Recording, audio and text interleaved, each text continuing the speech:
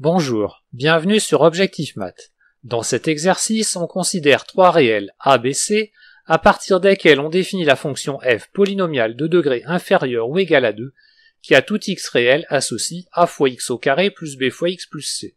On appelle g son graphe et on considère le point grand A de coordonnées 1, 2 tiers et S le point de coordonnées 4, moins 1. On nous demande de déterminer les réels ABC tels que grand A soit un élément de G et que S soit le sommet de G. Enfin, on demande de donner la représentation graphique de petit f dans ce cas dans un repère orthonormé. Vous devriez maintenant mettre la vidéo sur pause et chercher à résoudre l'exercice par vous-même. Grand A ayant pour coordonnées 1, 2 tiers, A appartient au graphe de f si et seulement si f de 1 est égal à 2 tiers. Lorsque le réel A est non nul, G est une parabole et a donc un sommet.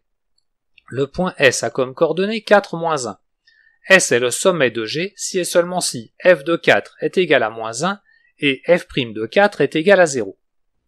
On obtient donc que A appartient à G et que S est le sommet de G si et seulement si ABC vérifie le système linéaire A plus B plus C égale à 2 tiers, 16A plus 4B plus C égale à moins 1 et 8A plus B égale à 0. En effectuant l'opération élémentaire, L2 devient L2 moins L1 moins 3 fois L3, on obtient que A appartient à G et S est sommet de G, si et seulement si ABC vérifie le système A plus B plus C égale à 2 tiers, moins 9A égale à moins 5 tiers, et 8A plus B égale à 0. Ce qui donne finalement A appartient à G et S sommet de G, si et seulement si A est égal à 5 sur 27, B égale à moins 40 sur 27, et C égale à 53 sur 27. Pour la représentation graphique de f, on prend pour ABC ses valeurs.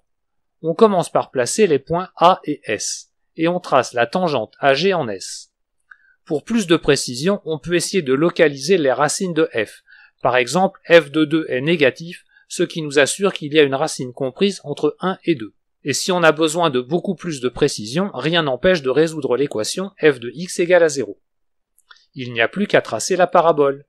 Voilà, cette vidéo est terminée, vous pouvez me laisser des commentaires et me poser des questions. À bientôt sur Objectif Math.